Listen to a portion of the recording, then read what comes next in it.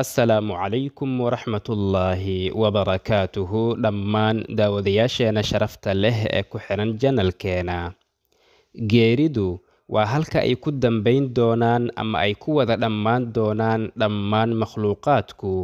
Waana sunno ilaahi ah oo alle subxaanahu wa tacaala u dejiyey ama ku xukumay khalaa'iqdiisa waana mid ku qadaran ama lagu qoray lowxul maxfuudka ka hor inta aanan la abuurin bani aadamka. Aadamna calayhi salaam wuxuu ahaa insaankii ugu horreeyey ee uu alle abuuray subxaanahu wa tacaala wuxuuna ahaa nebigii ugu horreeyey ee uu alle soo saaray subxaanahu wa tacaala.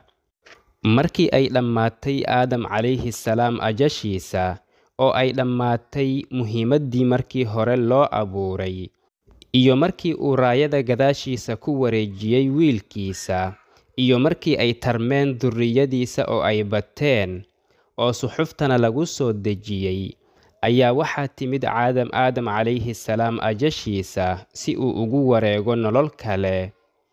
Haddaba xaggee bay ajashiisu ugu timid calayhi salaam goormo ayaa la aasay xaggee baana lagu aasay. Cimrigiisuna meeqa sano ayuu ahaa. Goormo ayaana la oofsaday xaaskiisa xaawo. Muxuuse nebiyullaahi nuux calayhi salaam ku sameeyey janaasadooda ama meydkooda xilligii maanshoodka ama duufaanta. Dhammaan su'aalahaas iyo kuwo kale oo aad u fara badanba waxaad kaga bogan doontaan muuqaalkan gudihiisa fadlan idinkoo mahadsan muuqaalka like inoo saara si uu u gaaro asxaab kale oo aad u fara badan. Markii laga waramo nebiyullaahi aadam calayhi salaam geeridiisa waxaa la wariyaa in uu geeriyooday maalin jimco ah isla saacaddii uu alle subxaanahu wa tacaala markiisii hore ku abuuray oo kale. Wax yar ka hor geeridiisa calayhi salaam ayuu wuxuu xanuunsaday xanuun aad u daran kaas oo uu la jiifay muddo kow iyo toban maalmood ah. Maalmahaas inta lagu guda jiray ayaa waxaa nebi aadam calayhi salaam u suuro gashay in uu la dardaarmo wiilkiisa shays calayhi salaam. Wuxuuna baray wax walba. Wuxuu baray habeenka saacadihiisa iyo maalinta saacadaheeda. Wuxuuna baray saacadahaas cibaadooyinkooda wuxuuna ogeysiiyey ama u sheegay intaas kadib in duufaantu ay dhici doonto. Ansaabta ama abtirsiga bani aadamka maanta nool dhammaantooduna waxay ku dhammaadaan ama ka soo jeedaan shayth calayhi salaam. Waxaa la yidhi aadam calayhi salaam awlaaddiisa shayth markii laga reebo intooda kale ansaabtoodu waa ay dabar go'een. Waxaa la yidhi wuxuu kula dardaarmay inuu cilmigiisa ka qariyo qaabiil iyo awlaaddiisa si aanan loo dilin sidii walaalkiisa horay xaasidnimo awgeeda loogu dilay. Kadib markii uu alle subxaanahu wa tacaala xukumay in haabiil uu guursado iqliimo oo ahayd qaabiil walaashiisii la dhalatay. Kadibna wuxuu shayth calayhi salaam ku dhaqmay oo fuliyey dardaaranka waalidkiisa wuxuuna cilmigiisa ka qariyey qaabiil iyo carruurtiisa markii nebiyullaahi aadam calayhi salaam ay geeridu ku soo xaadirtayna wuxuu cimrigiisa ahaa sagaal boqol iyo lix iyo soddon sano. Waxayna ahayd maalin jimco ah. Waxaa u timid malaa'igtii sharafta badnayd iyaga oo alle subxaanahu wa tacaalaa xaggiisa ka sida karfan iyo xaanuud ama waxyaabo maydka lagu carfiyo oo ay jannada ka soo qaadeen. Wuxuuna ka hor inta aysan malaa'igtu u imaanin carruurtiisa ku yidhi carruurtaydiyey waxaan rabaa ama aan u baahanahay midhaha jannada. Kadibna waa ay soo baxeen si ay oogu dalbaan. Markaas baa waxaa ka hor timid malaa'igtii iyaga oo sida karfantiisa iyo cataradii ay ku carfin lahaayeen iyo masaar iyo badeel iyo dambiilba markaas bay waxay ku yidhaahdeen yaa bani aadam ama aadam carruurtiisiyey maxaad doonaysaan oo aad dalbaysaan? Waxay ku yidhaahdeen aabbaheen waa uu xanuunsan yahay wuxuuna doonayaa midhaha jannada.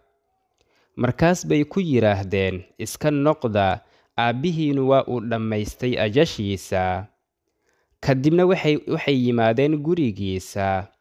Markii xaawo calayhasalaam ay aragtay malaa'igtii ayay ka soo hormartay si ay u kala dhex gasho oo ay uga qariso. Markaas buu ku yidhi inaga kala dhex bax aniga iyo rabbigay rusushiisa. Wixii aan la kulmay waxaan ula kulmay adiga dartaada. Wixii i asiibayna adiga ayay iga kaa asiibeen ama u sabab ahaa inaga kala dhex bax aniga iyo rabbigay subxaanahu wa tacaala malaa'igtiisa.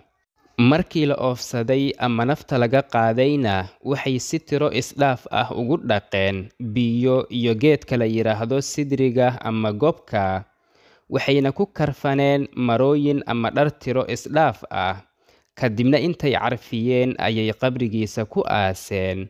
Kadibna waxay yidhaahdeen tani waa sunnada ama waddada aadam carruurtiisu ay mari doonaan gadaashiisa. Markii uu geeriyooday nebiyullaahi aadam calayhi salaam wuxuu shayth calayhi salaam jibraa'iil ku yidhi ku tuko. Markaas buu ku yidhi adigu soo hormar ama soo gudub oo ku tuko aabbahaaga. Markaas buu wuxuu ku takbiirsaday soddon takbiirood. Shan takbiirood waa tii salaada shan iyo labaatanka kalena waxay dheeri u ahayd ama u gaar ahayd aadam calayhi salaam oo keliya waxayna malaa'igtu u tacsiyadaysay wiilkiisa shayth calayhi salaam. Cadaa'ul khuraasaani wuxuu yidhi markii uu aadam calayhi salaam geeriyooday waxay khalaa'iqdu u oynayeen toddoba maalmood. Ibnu isxaaqna raximahullah wuxuu yidhi waxay qorraxda iyo dayaxuba madoobnaayeen toddoba maalmood iyo habeennadooda waxaana la isku khilaafay halka uu ku duugan yahay waxaana ugu caansan in lagu aasay buurtii markii hore lagu soo dejiyey oo indiya ku taalla agteeda. Waxaa kaloo la sheegaa buur la yidhaahdo abiqubays oo mako ku taalla in lagu aasay gaar ahaanna meel la yidhaahdo khaarul kanz inuu ku aasan yahay. Xaawona calayhasalaam waxay aadam gadaashiisa noolayd hal sano oo keliya. Kadibna waa ay geeriyootay. Waxaana lagu aasay sawjkeeda agtiisa isla goobtii isaga horay loogu aasay. Sidoo kale imaamu nuweyri ayaa wuxuu sheegay in markii aadam calayhi salaam la oofsanayay xaawo calayhasalaam ay ahayd mid aanan ka warqabin dhimashadiisa ilaa ay ka maqashay oohinta duurjoogta iyo bahallada iyo shimbiraha waxayna aragtay qorraxdii oo madoobaatay.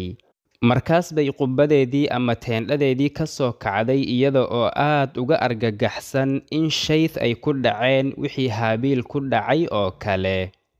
Waxay yidhaahdeen waxay ku oroday aadam qubbadiisa kadibna waa ay ka weysay. Markaas bay aad u qaylisay. Kadibna shayth ayaa intuu u yimid u tacsiyeeyey wuxuuna ku amray in ay sabarto. Waxay yidhaahdeen ma aysan sabrin wejiga ayay iska dhirbaaxday xabadkana way iska garaacday. Waxayna arrinkaas dhaxal siisay gabdhaheeda ilaa iyo qiyaamaha balse daawadayaal hadalkan dambe sax ahaanshihiisu ma ahan mid aan hubno. Kadibna waxay qabrigiisa laasimtay afartan maalmood iyada oo aanan waxba cunin. Kadibna waxaa qabtay xanuun aad u daran. Xanuunkaas oo haayay ilaa malaa'igtu ay la ooyeen caloolxumo ama naxariis ay u naxariisanayeen awgeeda. Kadibna waa la oofsaday raxmatullaahi calayha waxaana dhaqay gabdhaheeda waxaana lagu karfanay karfan jannada laga keenay waxaana lagu aasay aadam dhinaciisa calayhim assalaam iyada oo madaxeeda la dhigay aadam madaxiisa agtiisa lugaheedana la dhigay lugihiisa agtooda. Markii la soo gaaray xilligii duufaanta ama maanshoodkana nebiyullaahi nuux calayhi salaam ayaa intuu soo saaray taabuut ama sanduuq dhex geliyey. Kadibna wuxuu isla saaray doontiisa. Markii biyuhu ay degeenna wuxuu ku aasay baytalmaqdes waxaana la yidhi madaxiisu wuxuu yaallaa masjid la yidhaahdo masjidu ibraahim agtiisa halka lugihiisuna ay gaarayaan baytalmaqdeska agtiisa waxaana nebi aadam iyo nebi nuux calayhim assalaam u dhexaysay muddo kun sannadood ah. Wuxuu yidhi xaafid ibnu kathiir raximahullah waxay culimmada taariikhdu sheegaan in aadam calayhi salaam uusan dhimanin ilaa uu ka arkay afar boqol oo kun oo ka mid ahaa durriyadiisa oo ah awlaaddiisa iyo awlaaddii ay sii dhaleen awlaaddiisa